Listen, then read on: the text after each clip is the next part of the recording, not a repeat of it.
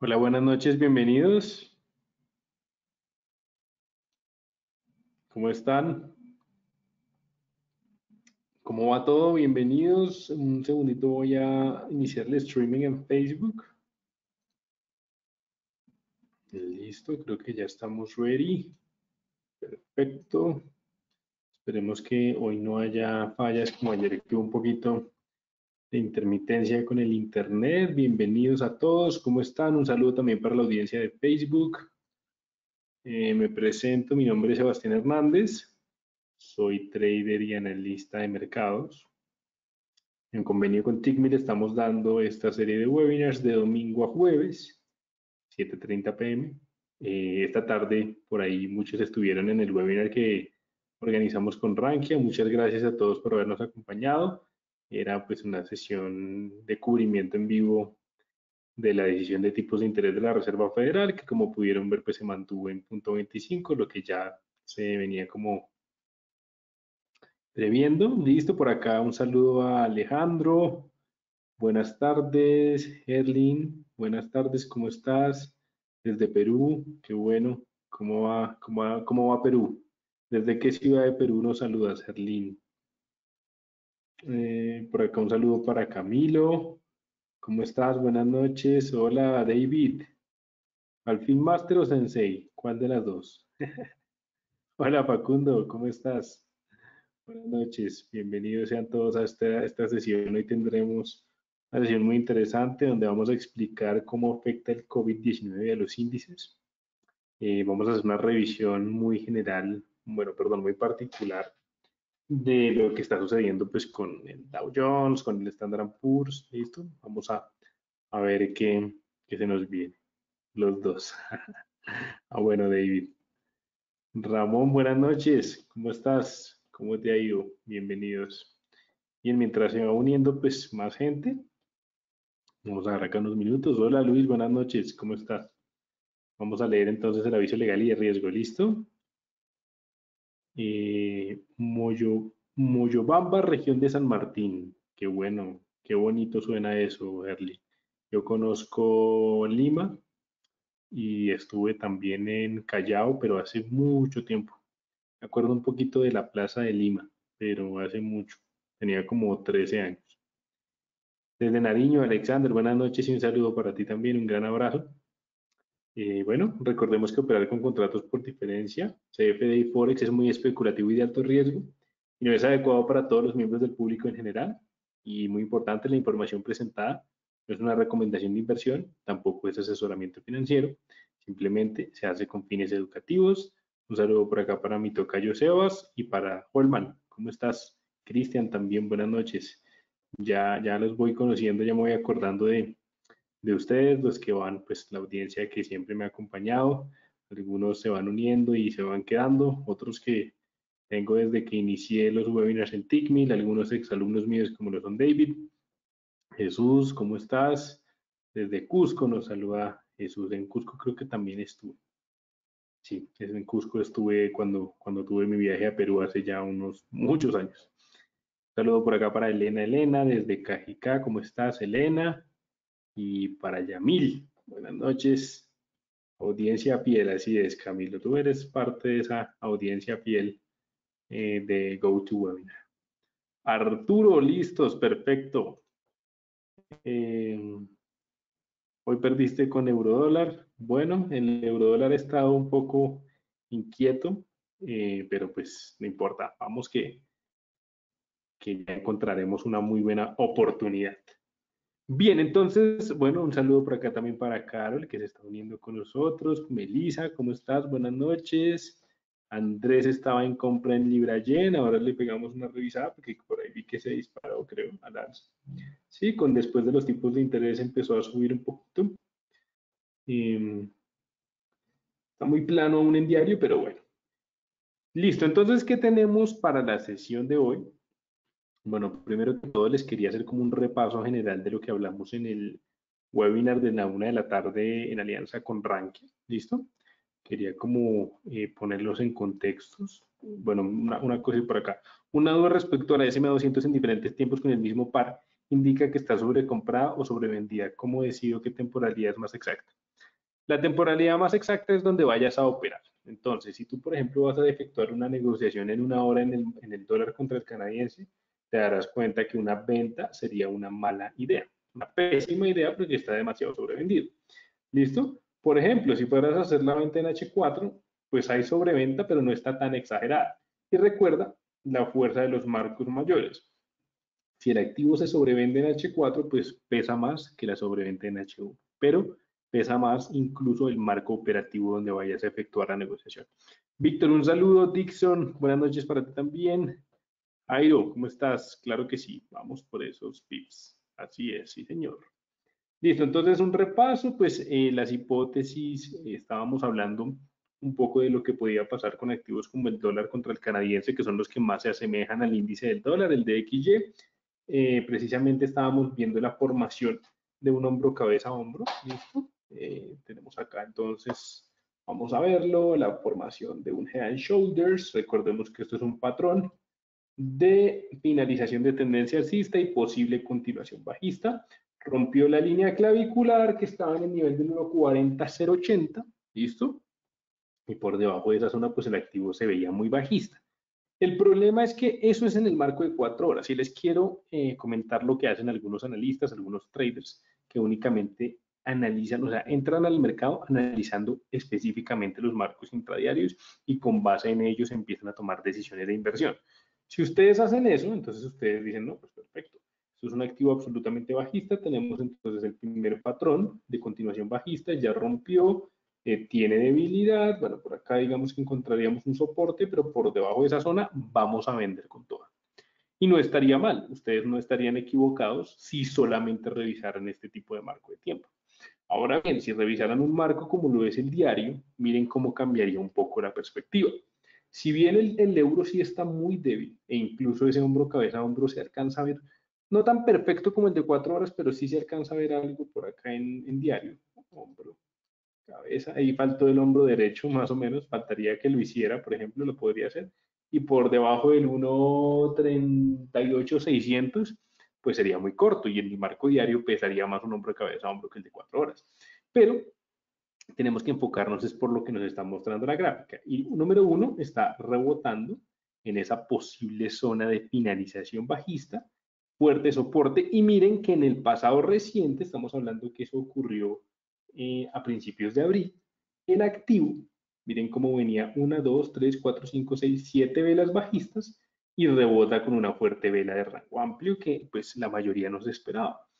Una, dos, tres, cuatro, cinco, seis, esta sería la séptima vela si cerrara roja bajista y podría entonces tener un fuerte rebote hasta la resistencia. Tenemos que guiarnos porque este nivel de soporte aún no ha sido vulnerado y tal vez le cueste hacerlo por dos razones fundamentales.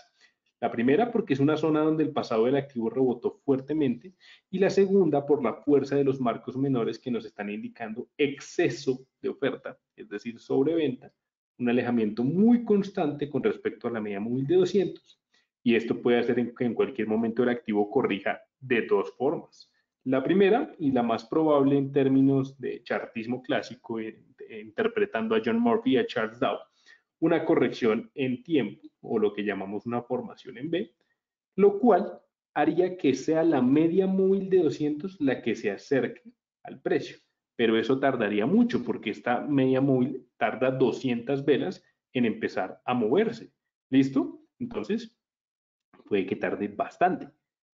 O la otra opción sería momento, perdón, que corrija, que es lo que yo estoy interpretando, que corrija en precio, es decir, que venga y rompa ese nivel de soporte y nuevamente por encima de él empiece a tener una muy buena proyección alcista. ¿Listo?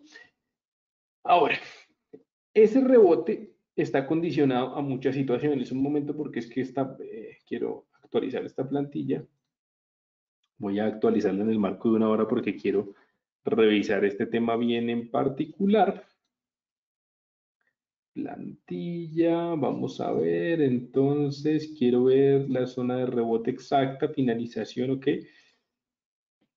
Hay que esperar, pero con un muy buen patrón de finalización incluso se podría entrar, no en un contratendencia, no sería un contratendencia, sería, eh, no sería una alineación en múltiples marcos de tiempo, sino finalmente el activo sigue siendo muy alcista, pero sería una operación con desalineación y sigue aumentando el riesgo, pero no sería un contratendencia. Ah, Andrés, pero es que esta es una SMA. Lo máximo que he visto, pues pucha, yo creo que he visto por ahí unos 150, 200 pips más o menos. Eh, Abraham, esta es una media móvil simple y la diferencia es que esta media móvil te sirve simplemente para evidenciar dónde debería estar el precio del gráfico. En este caso el precio del gráfico debería estar más o menos en esta zona.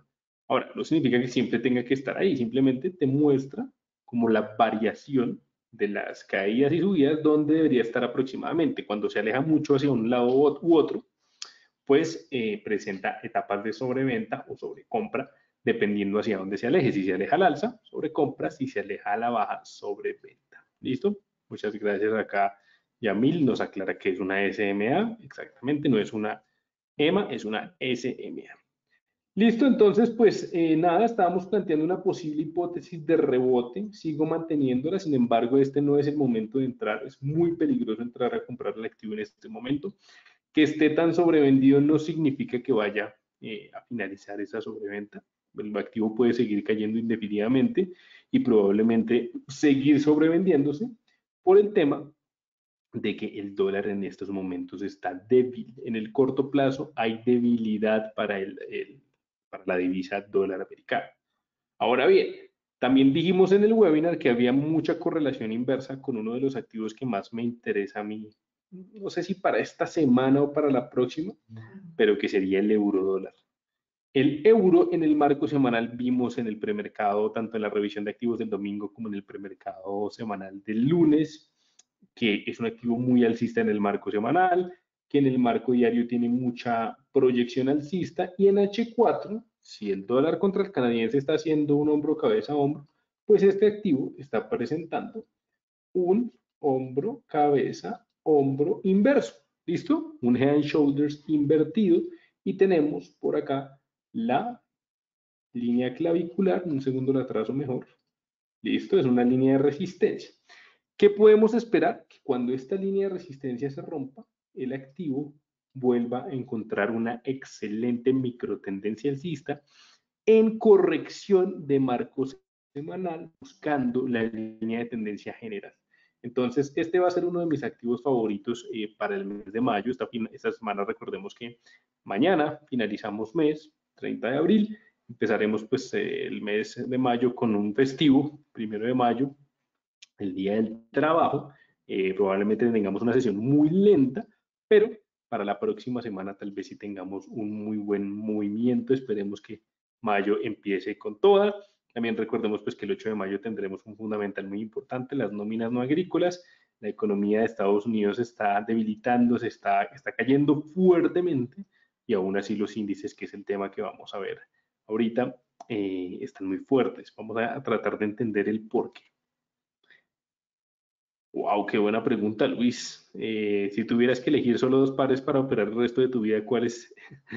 Esas preguntas están interesantes. Si tuviera que elegir dos pares de divisas, ah, yo elegiría euro-dólar y dólar canadiense. No es fácil, pero son los activos que yo más opero euro dólar y dólar canadiense y dólar contra dólar canadiense. O sea, USD y USD serían mis activos de elección. Eh, no significa que los otros no me gusten, pero si tuviera que escoger, pues escogería esos dos. Por acá, Rafael, buenas noches. Jordan, claro que sí, buenas noches, saludos. El, euro, la libra dólar, listo, ya lo revisamos. Bien, vamos a revisar la libra ya seguimos entonces acá con lo que estábamos comentando. Pues la Libra hoy tuvo una sesión, miren, es que lo que yo les comentaba es que la gente cree que porque, claro, la, Reserva Federal, incluso había una especulación de que por primera vez en la historia las tasas iban a salir negativas. Eh, no, eso no ocurrió.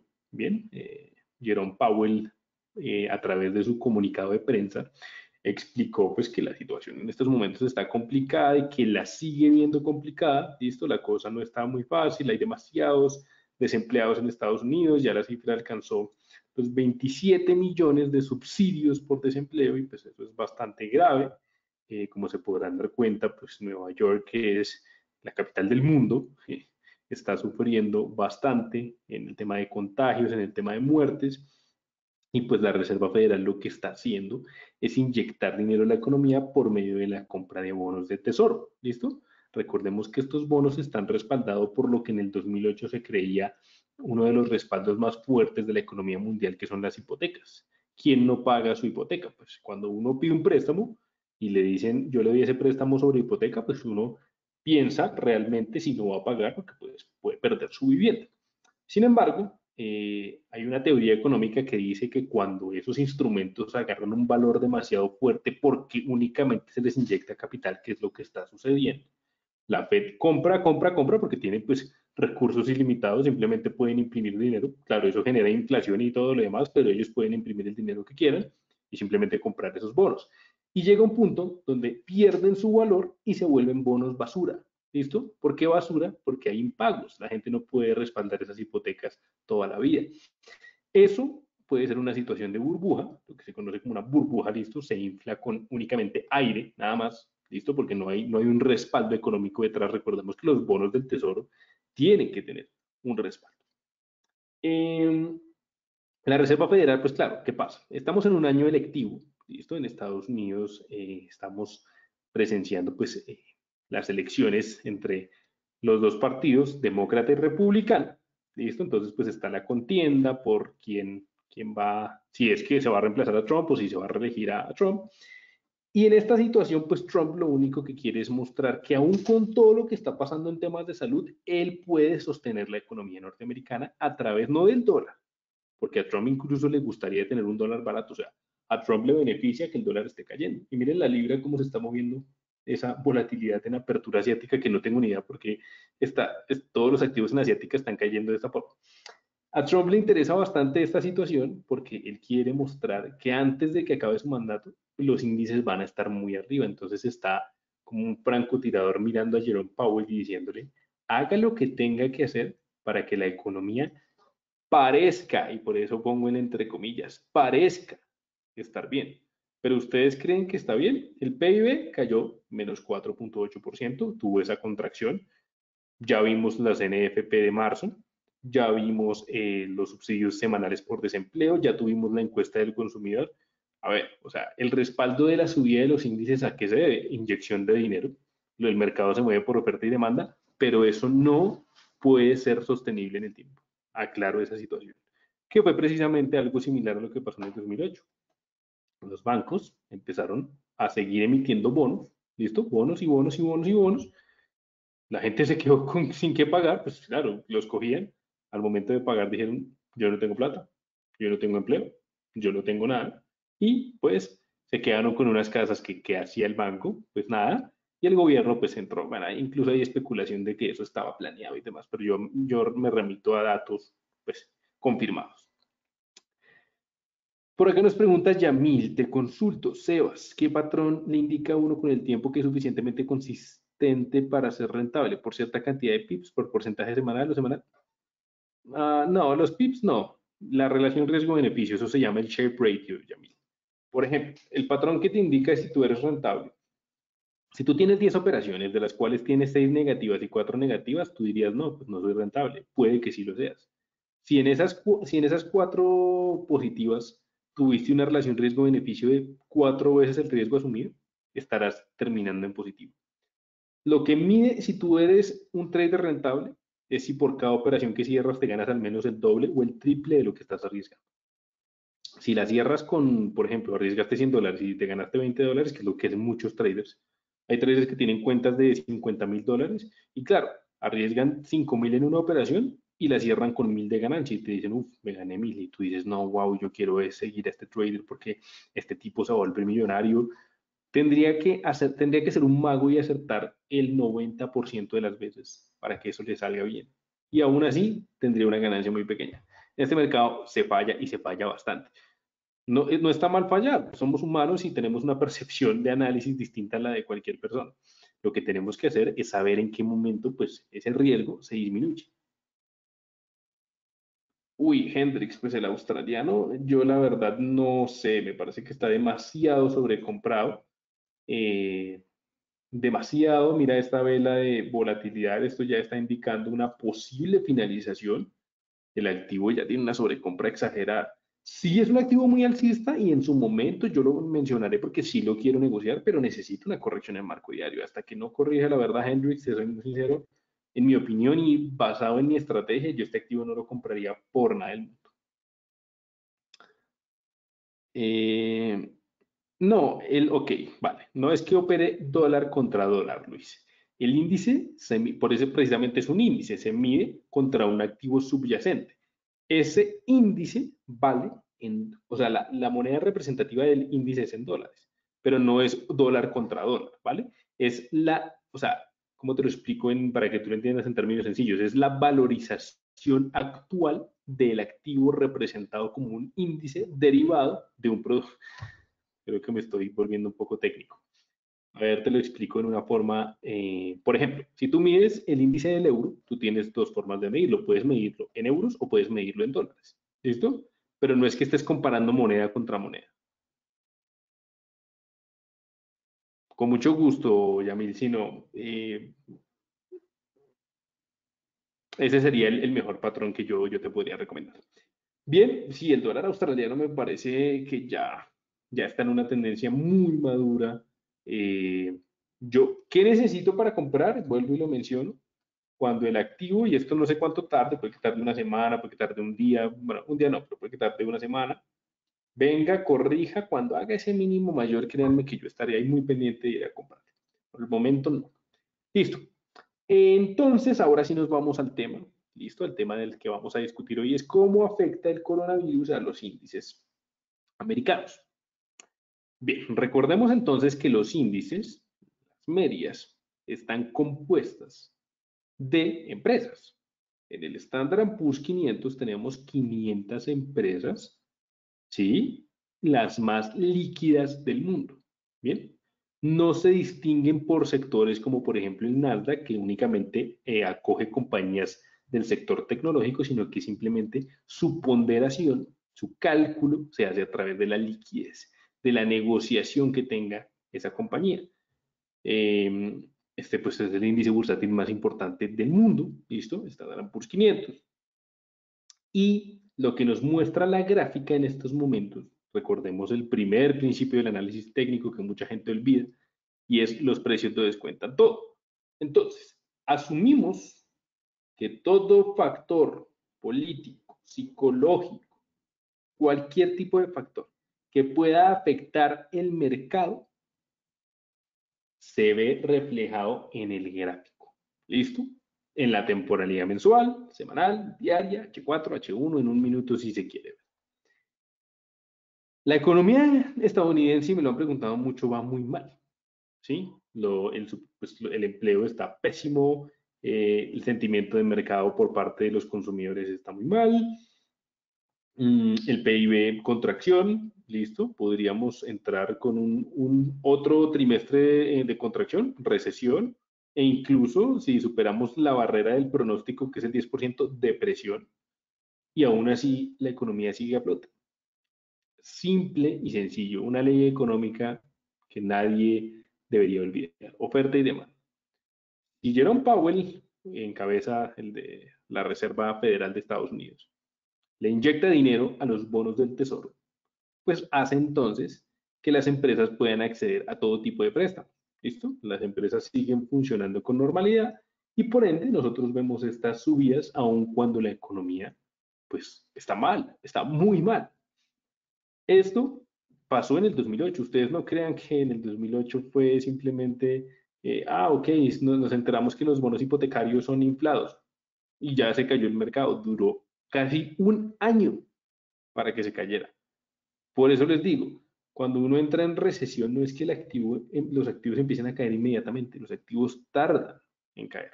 ¿Listo? Porque claramente hay un organismo gubernamental detrás inyectando dinero como loco, que en este caso pues sería la Reserva Federal. Sebas, ¿podrías explicar qué son los índices en breves palabras? Claro que sí.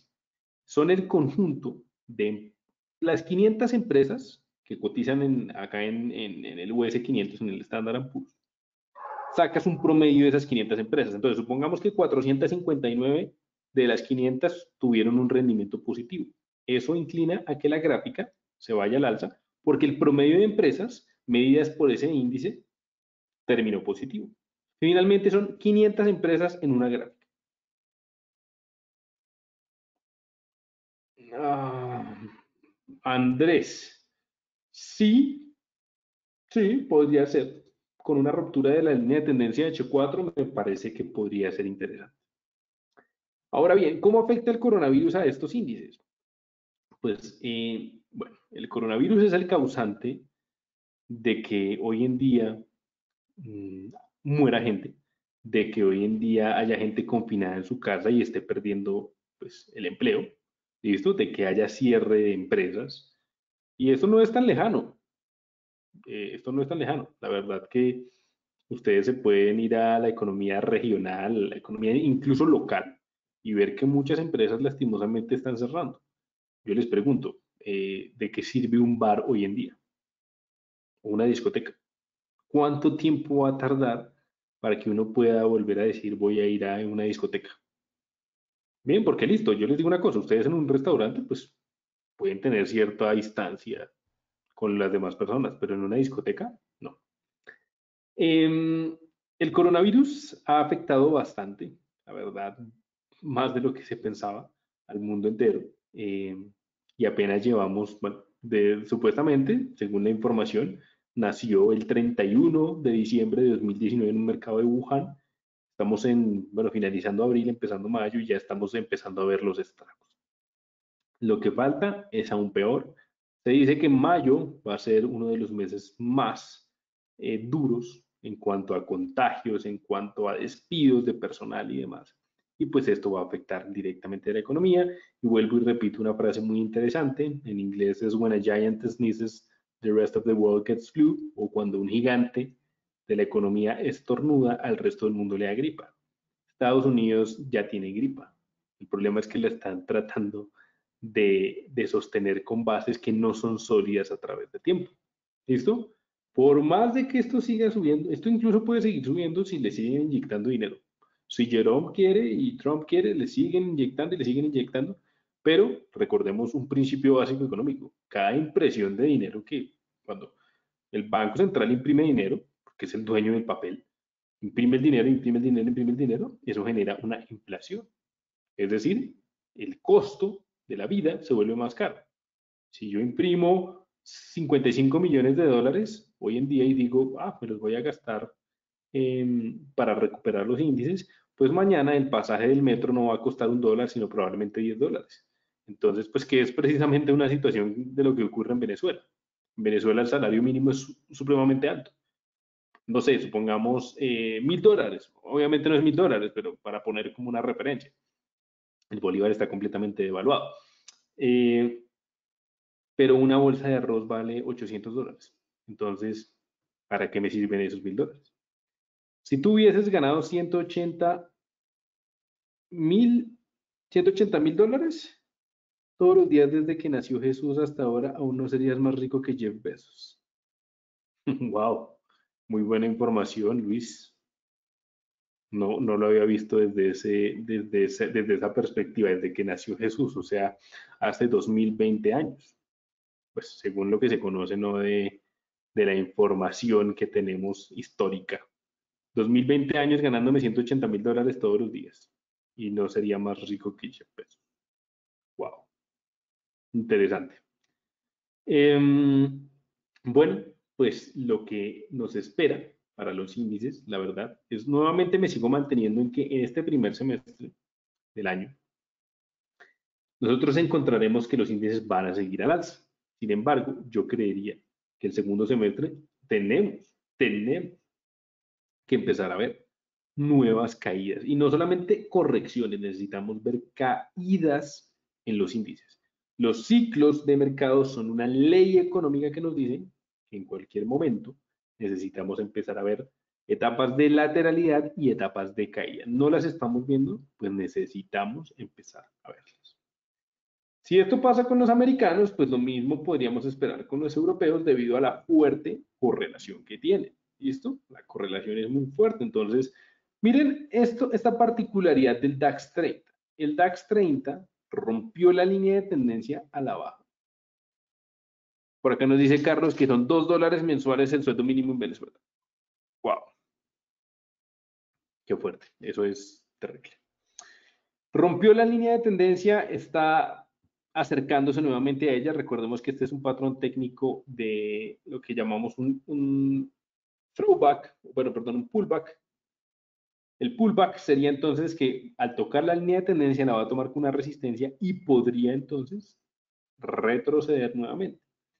Esto nos está marcando el, DAX 30, que por el momento es un activo absolutamente potente que desarrolló esta formación en pela, rompió con toda, incluso acá ya me toca empezar a buscar nuevas zonas de resistencia porque esto ya se me está quedando corto el gráfico, esto con las que tenía, por acá estoy trazando unas, dos nuevas para pues, tener información de precio rápida, pero pues eh, esto, esto se está inflando con nada, señores, esto no se está inflando con un respaldo. Recordemos que gran parte de la economía depende del empleo. Y si, no, y si 27 millones de personas han perdido su empleo, pues eso está grave. Por acá nos pregunta Luis, ¿considera que a medida se van reincorporando los diferentes sectores productivos en esa medida se saldrá más rápido de la crisis? Bueno, eh, Luis, ¿qué pasa? Claro que sí.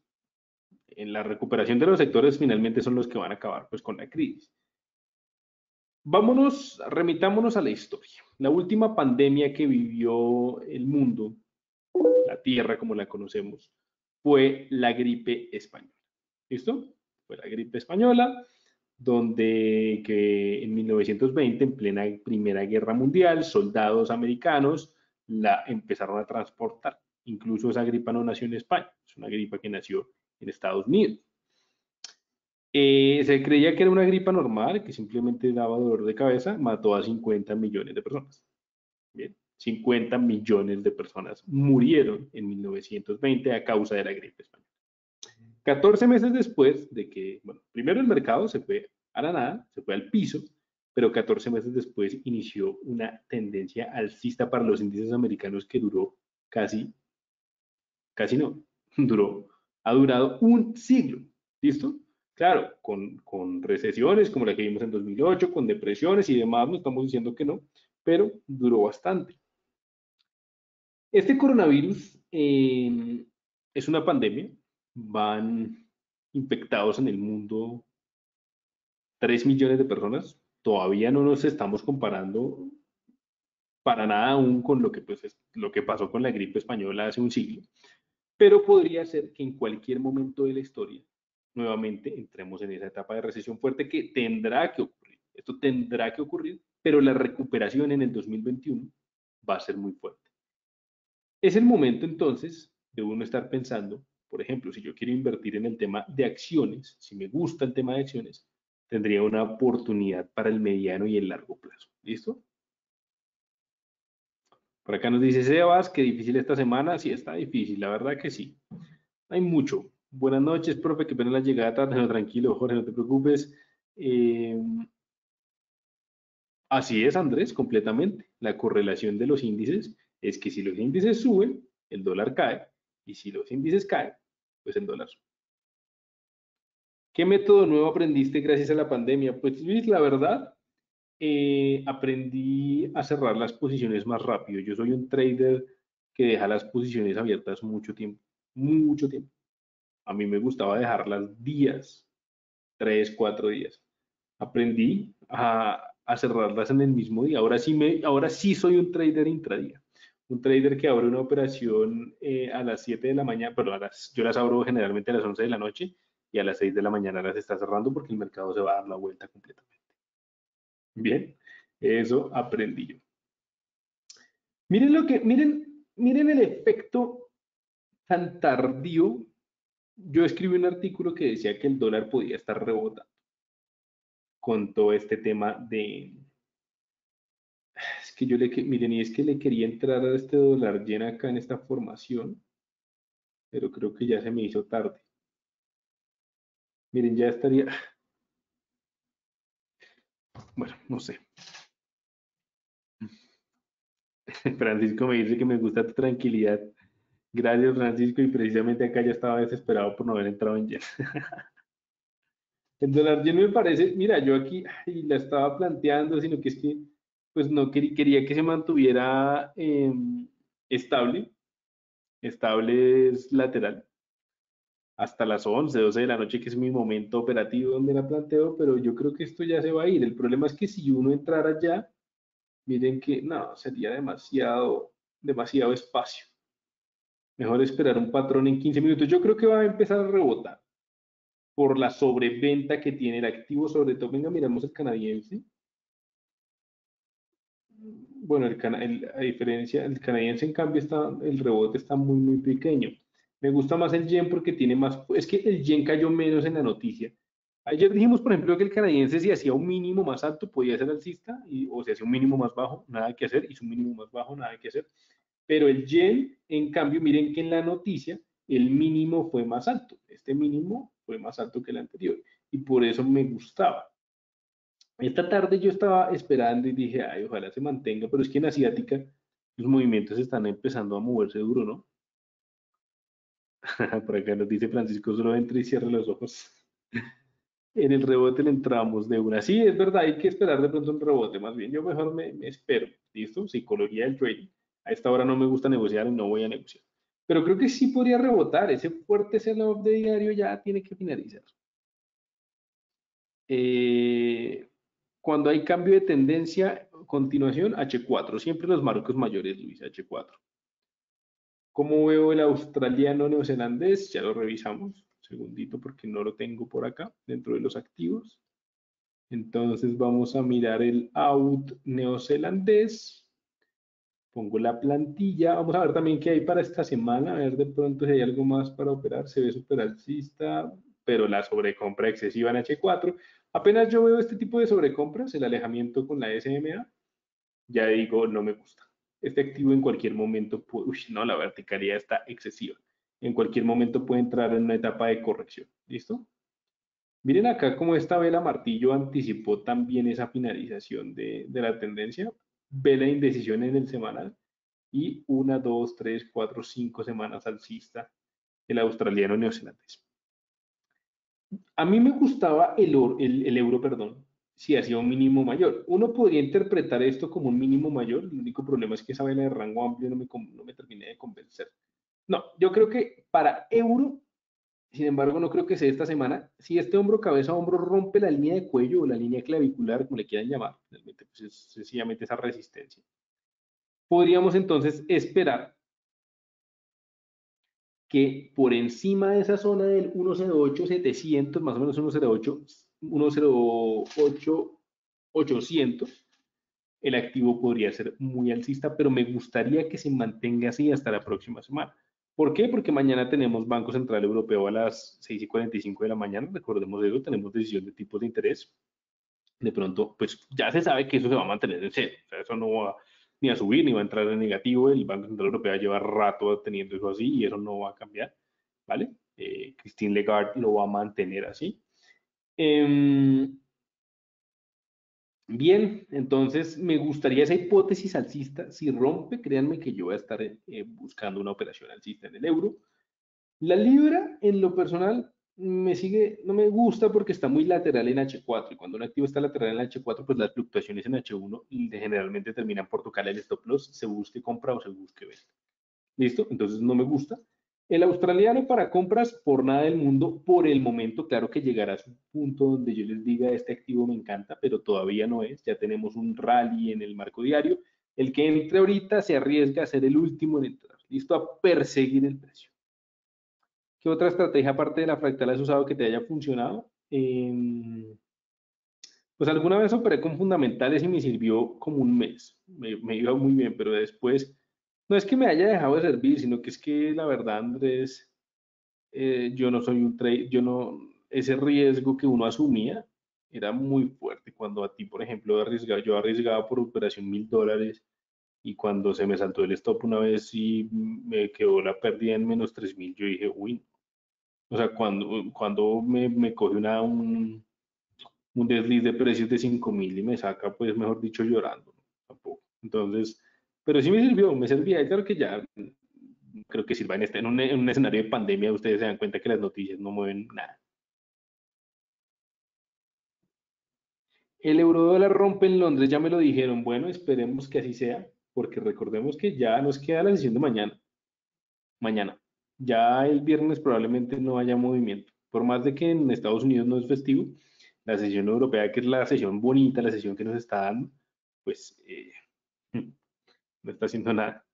Por acá nos dice Arturo, mi punto de vista, claro que si yo hago scalping, tomo como tendencia principal en temporalidad diaria y busco pequeñas correcciones en este marco para después adentrarme en marcos de tiempo más pequeños. Sí, está bien, está bien. Eh, no importa, si haces scalping, está súper bien. Lo único es que cuando entras en marco de 15 minutos, tu marco de tiempo más relevante tiene que ser una hora. ¿Listo? Una hora es el marco al que tú le tienes que prestar mucha atención. Una hora y cuatro horas. Enfócate en esos marcos de tiempo si tienes una micro, lo que yo llamo una micro tendencia en H4, pues sería esa tu tendencia general. ¿Listo? Tu tendencia general parte de los marcos eh, menores. En mi caso, como yo opero una hora, mi tendencia me la marca el semanal y el diario. Entonces, contigo te toca bajarte un poco más para identificar esa tendencia y para que tratar de que el movimiento se acompañe de manera pues específica según tus planteamientos en esa temporalidad. ¿Listo? Em, bueno, estábamos entonces neozelandés.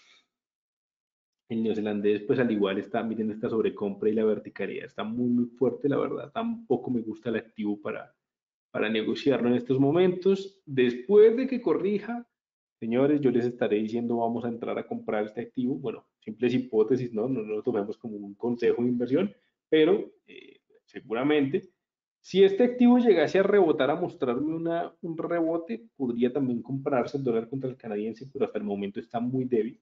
Por ejemplo, el yen había mostrado una zona acá, pero pues nada. Eh, vamos a ver si de pronto hace otro rebote, quiero verlo en 15 minutos. En 15 minutos, incluso podría ser que en 15 minutos de un patrón y esperar el rebote, el posible rebote después que después de ese lado que miren la zona de soporte que está visitando.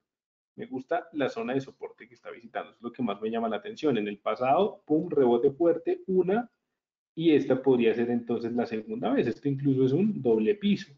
Esto donde el activo en el pasado rebotó fuertemente, miren un rally, una, dos, tres, cuatro, cinco, seis, siete velas alcistas, podríamos entonces encontrar lo mismo en ese rebote. Ahora, si ya rompe ese soporte, que sería ese soporte que viene desde el marco semanal, quiero verlo bien en detalle en el marco semanal, pues que es potente ese soporte, miren esto, 1, 2, 3 y este podría ser el cuarto punto y acá cuando rompió se fue, es bien potente, pero bueno, podría romper incluso visitar este otro, o sea, por debajo de esos 108, 900 el activo ya se cancela cualquier hipótesis alcista, pero si se logra mantener y diera un patrón, creo que podría ser alcista el dólar contra el yen. ¿Listo? Me gustaría. El franco fue el que menos se vio afectado, el dólar contra el franco suizo, incluso miren cómo ha mantenido su tendencia, acá ya me toca reacomodarle la línea, porque se ha mantenido en una tendencia, misteriosamente el dólar está sufriendo bastante y el franco sigue al alza. Pues el dólar contra el franco, ¿no? Sigue al alza. Eh, me parece que este activo, es que está muy sucio en el segundo, pero de pronto si encontrara un enrangamiento a KDP, podríamos buscarle algo, sino que es que este activo ya está muy suyo. El oro, dijimos entonces en el transcurso de la semana, ayer yo les dije que podía ser alcista por acá en una P, sin embargo, pues tenía mucha sobrecompra, nunca se desarrolló, subió un poco, pero es que la sobrecompra en H4 es la que me preocupa. Bien, el activo puede entrar entonces en fases de lateralidad y dejarnos colgados. Así es, Carlos, así es, exactamente. Muy bien, la cogiste bien, así es. Si haces en dos minutos, esa sería la forma. Plata, completamente lento, listo, lo que hemos dicho. Si, me, si escojo un metal, entre eh, eh, perdón, oro y plata, oro, nada que hacer. Pero petróleo está cerrado. Índices no los tocaría, la verdad, no los tocaría en estos momentos. Son, activos que van a dar oportunidades, pero hay que esperarlos, hay que, hay que estar como un francotirador el canadiense contra el yen es uno que ya me empezó a interesar un poquito porque ya empezó a rebotar. Sin embargo, recordemos que ese 77.030 es el nivel que estamos esperando que rompa. Aún no lo rompe, necesitamos entonces que lo rompa. ¿Listo? Cuando lo rompa, con mucho gusto estaremos muy pendientes muy pendientes de lo que haga para buscar una operación de compra en el canadiense contra Chile. No veo más, la verdad, no, no sé, sería euro dólar rompiendo, pero esto lo veo para la próxima semana. Sería de pronto el yen si hace un patrón, pero es que tendría que ser, es que en H4 sigue siendo una formación en B, sigue siendo un máximo menor, entonces tendría que ser un patrón ya demasiado, pero demasiado confiable para confiarle a ese rebote. ¿Listo? Eh, sí, es difícil, Cristian. Es difícil, pero tiene que caer. Tiene. En una recesión, las empresas, bien, el sector industrial es el más afectado, obviamente el consumidor, todo, el financiero, pero tendría que caer. tendría. Muy Francisco, no, pues la verdad, sí, no te voy a decir mentiras, sí medio duro. Por más de que no, yo en ese, en ese tiempo pues tenía una cuenta que me permitía arriesgar mil dólares, pero, pero igual fue duro. Porque es que cuando tú haces el, el, el, como la conversión a pesos, pues en ese momento eran 3 millones de pesos y pues 3 millones de pesos es, es, es dinero. Del Bitcoin, pues Diego, yo casi, yo la verdad no opero Bitcoin, ¿sí? No, no soy operador de Bitcoin. Poco también me, me interesan los artículos en referencia al Bitcoin, mm, pero por ahí creo que está subiendo, ¿no? Los que saben de Bitcoin. David, en Franco se ve alcista, se ve alcista el Franco. Por acá me han pedido uno neozelandés, creo que era eh, australiano Franco, vale, ya miramos el australiano Franco. Eh, a ver, pero sí, no, la verdad yo creo que esta semana ya está, está complicada la cosa. Yo no operaría más. Se dio la operación del euro ese 3 a 1, lástima del stop loss en yen, que hubiera, se hubiera dejado un 3 a 1 en la semana, en una semana tan quieta, pues serviría. Eh, australiano Franco rebotando, alcista en diario, esa P tan bonita de diario, súper sobrecomprado ya en H4, podría empezar ya a retroceder, mira esa mesa sobrecomprada. Wow. Súper, pero no, es que ya es una, mira esa tendencia tan madura. Vamos a ver esto una cosa, a ver qué podemos hacer acá. 1, 2, 3, 4, 5, 6 días al alza, pero es que no he encontrado resistencia. Por acá, por acá, para marcar los niveles del posible retroceso. Uh, a ver. A ver, a ver, a ver, miramos una cosa acá en 15 minutos. Por ejemplo, en 15 minutos, este, pues esto es un contratendencia y no, es que este, el spread también no me gusta. Pero este máximo menor habría sido una posibilidad. Yo lo veo que tiene que retroceder, pero compras no buscaría más. La verdad no. El que no haya golpeado la pared por perder dinero en Forex no ha vivido nada. Ah, pues sí, eso dicen Francisco por ahí. Pues, eh, Facebook sacó su criptomoneda Libra, pero pues lo que pasa es que si eso pasa, los bancos van a buscar la forma de que sean ellos los reguladores. Los bancos no se van a dejar de vencer así de fácil. Entonces, si son los reguladores, pues ya pierde el sentido de la criptomoneda porque igual tendríamos que recurrir a esos entes financieros para obtenerlas, ¿no? Sí, pues señores, la verdad que mm, yo, Julio nos dice que él quemó cuatro cuentas, no te preocupes, Julio, eso es completamente normal. Lo importante es que aprendas de cada vez que quemas una cuenta. Aprendas de cada vez que llevas una cuenta cero y digas, aprendí esta lección, aprendí algo nuevo, en ese proceso de ser rentable, porque créanme que se puede, señores. Se puede. El problema es que en estos momentos, esta semana está complicada, muy complicada. Yo estoy, no. Sería el yen el único, tal vez, pero no, no creo. La verdad no creo que se vaya. Creo que esta semana ya eh, lo mejor es dejarse, pues, eh, alejarse un poco de los gráficos, eh, no sé, invertir tiempo en otro tipo de actividades. El viernes es festivo en Europa. Yo el viernes ni siquiera voy a abrir las pantallas. Listo, mañana tenemos la sesión de preguntas y respuestas. Después de esa sesión, nada. No haré absolutamente nada más. eh, pues con respecto a Forex, ¿no? Y ya la otra semana, créanme que vamos a empezar súper recargados, hay muchas oportunidades. Si el australiano empieza a corregir en la sesión de mañana y el viernes sería una excelente oportunidad para que la próxima semana le busquemos operaciones alcistas. Pero yo la verdad veo un mercado difícil, ¿sí? No veo configuraciones interesantes que, me, que yo diga me gustan, a excepción tal vez del yen, vuelvo y repito. Pero bueno. Eh, acá en Facebook están, quedan todos los diferidos y en YouTube puedes poner estrategias y técnicas de trading, ¿listo? Eso es, Francisco, leer y estudiar y unas cervezas. Muy bien, me gusta, ese, me gusta esa idea, me gusta ese plan. Por acá nos dice Rafael, por lo menos llevar la cuenta de las que has quemado. Sí, hay que llevarlas, hay que, hay que llevarlas. Dos cuentas, no te preocupes, eso no importa. Eso, pues digamos que la fortuna mía para no haber quemado cuentas es que yo pues inicié con un capital grande, ¿no? Entonces no era como tan sencillo decir, ah, es que si pierdo, pues es mi plata. Y ya.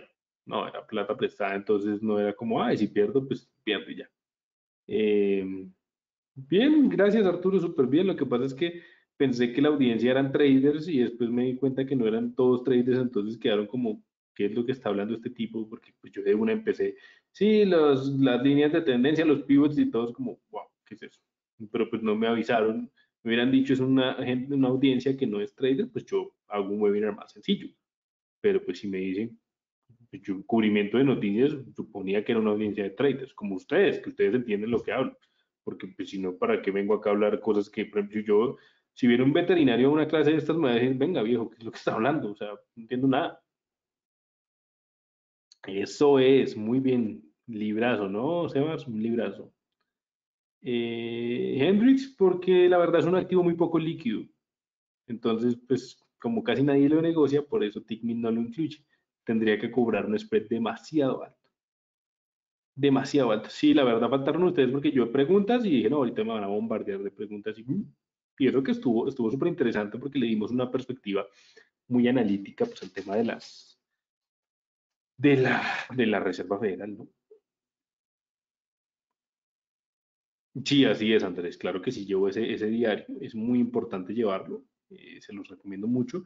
Yo también tengo, pues, la mañana les voy a mostrar en la sesión de preguntas y respuestas. Eh, ya pude auditar mi cuenta, esta que les mostré. Entonces les voy a mostrar si ustedes quieren seguir las operaciones que hago, los pares que opero. No lo hago ahorita porque me falta hacer una cosita. Mañana se las pongo ya y listo. Un libro para entender la tendencia de las velas, análisis técnico de John Murphy. Eh, creo que sí, ese está grabado, pero necesito pedírselo a Rankia. Yo se lo pido mañana. Eh, a ver dónde estará, porque no sé si lo subieron a YouTube o si lo subieron a la página de Rankia. Pues eh, Ever es el índice que mide precisamente la fluctuación, el movimiento diario del activo, listo. Con ese índice tú puedes interpretar cuáles activos son más volátiles que otros. Por ejemplo, si tú comparas un activo como el australiano dólar contra el dólar franco, te vas a dar cuenta que el australiano es mucho más volátil. Entonces, dependiendo de tu nivel de riesgo, escoges cuál, en cuál inviertes. Si te gusta la volatilidad y te gusta el riesgo, pues entras en australiano. Si más bien te gusta eh, los activos que no se muevan tanto y operaciones a, más mediano plazo, días o semanas, pues entras en uno con menor volatilidad. Listo. Entonces, eh, pues señores, lastimosamente hoy no veo mucho. Por ahí el yen, sin embargo, tengan cuidado. Yo en lo personal, no sé, voy a esperar a lo mismo a las 11 de la noche. Ustedes ya saben cuál es mi, pues mi, mi paso a paso, esperar más o menos a esa sesión para programar. Si veo algo interesante, lo programo. Y mañana les mostraré si salió positivo o negativo. Bien. Eh, y si no, pues no programo nada, porque tampoco voy a, tampoco voy a buscar donde no hay nada que hacer. Yo sé que ya mayo va a ser mucho más interesante. Sell in May and go away, dice Investing. Vende en mayo y vete. Entonces, vamos a ver qué, podemos encontrar en los diferentes activos financieros. Eh, pues David, la verdad me encantaría hacerla. El problema es que esas sesiones las tiene mi compañero Carlos, pero pues igual él es un trader increíble. Te recomiendo que lo sigas. Él hace toda la apertura americana. Entonces, eh, porque yo pues eh, yo soy de las sesiones asiáticas y me encantaría, me encantaría hacerla con ustedes, pero pues ya está él haciéndola y no puedo interrumpir sus horarios, ¿no? Con mucho gusto, Luis. Eh, Libra neozelandés, ya lo revisamos, a ver. Libra contra el neozelandés. Libra neozelandés, ¿dónde está el Libra neozelandés? Por acá está, a ver. Ah, un contratendencia fuerte con esa cola de piso de H4. Ya, ya, ya Sebas la está cogiendo, ¿no? Me gusta. Me gusta, Sebas. Me gusta. Sería algo así, mira, para que tengas en cuenta cómo sería el stop, el nivel de entrada. Algo así. O incluso podrías entrar a mercado. ¿Listo? Ven, miramos las resistencias y demás. Te quito esto un momento.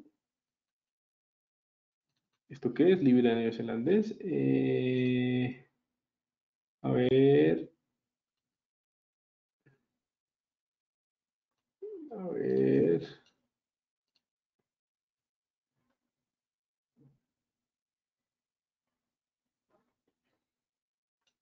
Si está en zona de soporte la sobreventa H1 es excesiva y quiero marcarle.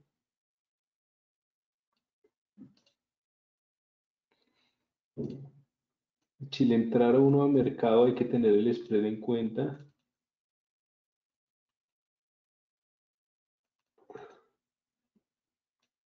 Bueno más o menos como el 3.5 a 1 está la resistencia más fuerte. Finalmente esta de acá puede vulnerarse fácilmente pero sí, puede ser. Me gusta.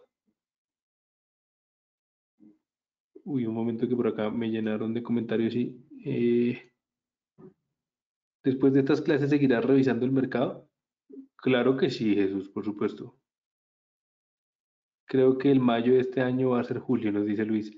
Tanto como Carlos y Seba son las... Hostia, mis respetos, los dos son los más... Ah, gracias por ese comentario, Arturo, y es con muchísimo gusto. Sí, me gusta, me gusta, Sebas. La verdad me gusta. El problema a mí es que esos activos con tanto pero no me gusta operarlos. Pero esa cola de piso la identificaste muy bien y esa cola de piso parte de H4. Me gusta mucho que parte de 4 horas. Y sí podía tener un fuerte rebote en esa. Es que no tuviera tanto spread te acompañaría en la operación. Pero es que tiene mucho spread. De pronto si disminuye en la sesión, igual pues Libra Neozelandés debería estar ya moviéndose hasta la, hasta la europea. Si se mantiene y baja un poco el spread, porque es que este activo no lo conozco mucho, lo operaría contigo, Sebas. Y mañana te muestro, a ver, dependiendo. Si esto, si, pero yo voy a esperar un poquito. Sin embargo, voy a guardar este par. Eh, voy a guardar este par. ¿Listo? Porque me interesa, ¿vale? Me interesa uno, dos, tres, cuatro, lo voy a guardar dentro de los pares menores. Plantilla 1, 2, 3, 3 y 4. A ver, mensual. Y una vez después de que acabe el webinar le trazo bien los soportes y me pongo a mirarlo bien, bien, bien pero sí puede ser una oportunidad muy bien identificada ese, ese activo, Sebas, te felicito. Diario. Aunque el diario creo que ya lo tenía, sí. No, mentira, no lo tenía. Diario. Bueno, sí, yo lo tenía. Acá está. Diario. Segundo lo pongo por acá. Voy a cuadrar, organizar todo esto para guardarlo en mi perfil porque es un activo que ya me empezó a interesar. Esto sería H4 y esto sería H1, entonces vamos a ponerlo bien por acá. Y una vez los que me preguntan que cómo pongo las pantallas y demás, pues acá les estoy resumiendo. ¿Listo? Acá. Un poquito más abajo. Este es más o menos como el tipo de organización que me gusta. Ya será trazable pues los soportes y las resistencias, ¿listo? Y ya los de diario, pero faltan los de eh, faltan los de mensual y, semanal. Me gusta, ahora me, me, gusta dejarlos así, los, estos tres con este acercamiento y estos dos. Bien, entonces el dólar yen me parece que puede rebotar, a ver.